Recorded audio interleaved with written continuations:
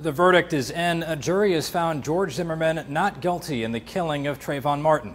After 16 and a half hours of deliberation, the six member, all woman jury made its decision on Saturday around 9 p.m. We, the jury, find George Zimmerman not guilty. So say we all four person.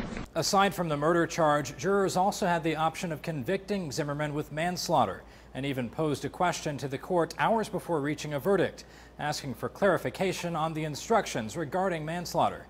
But ultimately, they passed on that charge as well. After the verdict was read, a stoic Zimmerman shook hands with his defense team and calmly left the courtroom.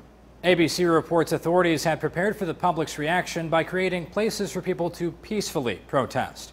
Authorities in South Florida also urge people to remain calm while monitoring social media for any potential problems. This ends a more than month long murder trial for the death of 17 year old Trayvon Martin. Stay with us for more reaction and analysis on this case. For Newsy, I'm Zach Toombs. Multiple sources, a broader view.